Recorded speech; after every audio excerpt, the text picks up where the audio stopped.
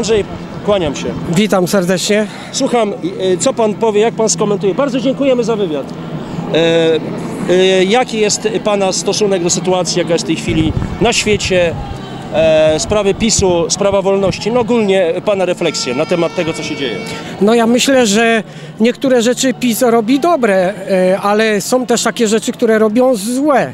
Na przykład proszę pamiętać o tym, że to, co ja dzisiaj tutaj widzę, to nawet się nie spodziewałem, że aż tyle ludzi się chce dorwać do władzy, czyli tyle darmozjadów. To dzisiejsze tu spotkanie w tej chwili to jest istne, istna grupa mafijna, która przyszła się do, dobrać do koryta, która wcześniej e, w kampanii prezydenckiej utraciła tą możliwość, e, możliwość e, władzy i dzisiaj teraz wychodzą. Ale on, muszę powiedzieć w ten sposób, że Platforma Obywatelska nie ma pomysłów na Polskę, bo to, co ja na własnej skórze odczułem, Platforma Obywatelska powołała specjalne e, komitety e, tych prawników darmowych, kancelarie, tych osób, które są poszkodowani przez Prawo i Sprawiedliwość. I proszę pamiętać o tym, że ja wielokrotnie się e, zwracałem do Platformy Obywatelskiej, żeby pomogli mi wprawnie przeciwko e, PiSowi. I co się teraz okazuje? Platforma Obywatelska jest takim samym e, złem, jak i druga strona, czyli mamy do czynienia z takimi dwoma gangami, e, e, dwie grupy przestępcze, które w tej chwili między sobą walczą i to, i to jest bardzo złe dla Polski. A to, co robi Kaczyński, to niech on sobie to robi. Jest demokracja, każdy ma prawo wyjść na ulicę, prawda? I każdy ma zaprotestować. W każdym razie powiem tylko jedno. Za czasów Platformy Obywatelskiej policja nas pałowała pod Pałacem Prezydenckim. Dzisiaj tego nie ma za czasów Prawa i Sprawiedliwości. To są, to są dwie takie e, różne e, standardy. Jak była Platforma, to nas pałowali. Jak jest teraz PiS, to PiS nikogo nie pałuje. I to jest, i to jest właśnie prawdziwa demokracja. Za czasów Platformy Obywatelskiej nie było takiej demokracji jak w tej chwili. I to jest, i to jest bulwersujące i to jest bardzo złe. Ale nie chciałbym, żeby mnie telewidzowie e, kojarzyli e, z tym marszem. Wręcz przeciwnie. Ja chciałem tylko po prostu zobaczyć, kto chce się do, dobrać do koryta. Jestem, jestem niezależny, obserwuję to wszystko i wiem, i wiem, i, I wiem, że Platformie Obywatelskiej się to nie uda, pomimo takiego wielkiego krzyku, bo oni nie umią protestować. Oni dzisiaj wyszli na ulicę, ale jutro idą do domu. I bez efektu, bez niczego. Jeśli chce Platforma Obywatelska osiągnąć jakiś efekt, na przykład zmiany rządu, to muszą wiedzieć o jednym. Protestować należy tydzień, dwa, trzy. Tak jak to zrobili w Rumunii. Wyszli przed pałac prezydencki, protestowali przez dwa, trzy tygodnie i co się stało? I prezydent ustąpił.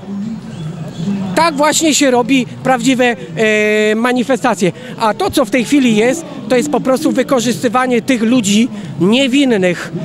Bo to, są, bo to są ludzie zmanipulowani. Nie tylko tu w tej stro, z tej strony, ale są też ludzie zmanipulowani i z tej z drugiej strony. Musimy pamiętać o tym, że, że i druga strona też manipuluje. Także tutaj mamy do czynienia z dwoma gangami i tych dwóch i tych dwóch gangów należy się e, strzec, unikać ich jak najdalej, bo naprawdę e, to nie jest to, że oni wołają o demokrację, o, o wolną Europę czy coś takiego. My jesteśmy w Europie, nikt nas nie chce wyciągać z Europy, ani z NATO, także jest, jest wszystko tak, jak, jak powinno być. A dowodem na to, że jest demokracja, proszę zobaczyć, prokuratura ostatnio umorzyła śledztwo w stosunku do mnie, czyli są e, prokuratorzy uczciwi, którzy rzetelnie stwierdzili, że nie było żadnego powiązania ze mną z Platformą Obywatelską, że nie było żadnego mieszkania. E, ja teraz tylko czekam, kiedy ta strona pisowska, która mnie oskarżyła, wie pan, bo byłem prowokatorem, a teraz stałem się TW, matka. Za tydzień zmienili mi, mi pseudonim, powiedzieli, że TW chatka, ale ksiądz Małkowski wszedł jeszcze w gorsze bagno, bo powiedział, że TW radyjko. I ja się nie mogę e, zre... ja się nie mogę ja się nie Dobra. mogę zrehabilitować e, w IPN-ie, bo nie wiem jaki mam mieć przydomek, o to chodzi. Dlatego, dlatego jeszcze raz powtarzam do wszystkich, którzy nas oglądają. Pamiętajcie, ci z lewej kłamią i ci z prawej też kłamią. I to są te dwie grupy przestępcze. A jeśli chodzi o stosunki te międzynarodowe, Tak? E, no to powiem panu szczerze, że e, ja myślę, że w sztabie e, Jarosława Kaczyńskiego, choć go nie lubię, ale są tam ludzie mądrzy, którzy strategicznie, strategicznie wiedzą, co robić. I to nie ma to, że pan Macierewicz rozwala wojsko czy coś takiego. Nie. On chyba wie, co on robi. Tylko najgorsze jest to, że jak pan Macierewicz ojdzie za, odejdzie za dwa i pół roku, to ja się boję, kto przyjdzie po nim. Kto przyjdzie po nim. Amerykańska polityka agresywna na świecie, Syria.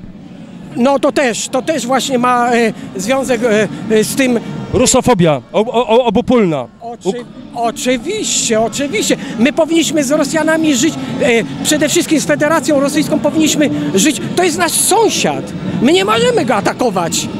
Nawet, nawet za to, że część opinii publicznej e, twierdzi, że doszło do zamachu w Smoleńsku, że wybuchły bomby e, e, na samolocie, prawda?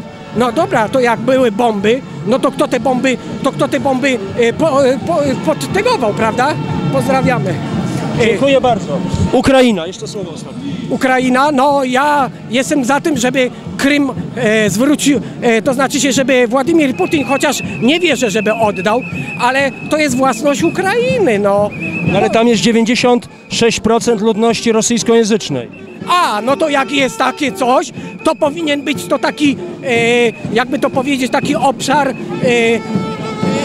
dla Rosji, dla Federacji Rosyjskiej. Jeśli, jeśli, tam jest, jeśli tam jest większość obywateli Federacji Rosyjskiej, to tak jak Ślązacy, Kaszubi, każdy powinien mieć swój, e, prawda, teren do swoich e, rozwijania patriotycznych e, tradycji i tym podobnym. No.